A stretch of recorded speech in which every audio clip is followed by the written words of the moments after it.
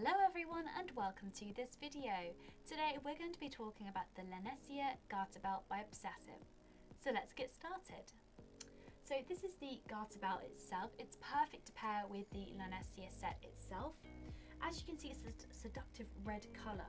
It features two fasteners at the front which are adjustable and you can attach your favourite pair of stockings to go with it. It features a silver charm at the front and a beautiful sheer mesh design with beautiful embroidered patterns all the way across the border there. If we take a look around the back of the garter belt itself, we can see there are two more adjustable fasteners just here and a huge clip fastener there to help with fitting as well. The material itself also feels quite stretchy and elasticated for a more comfortable fit as well.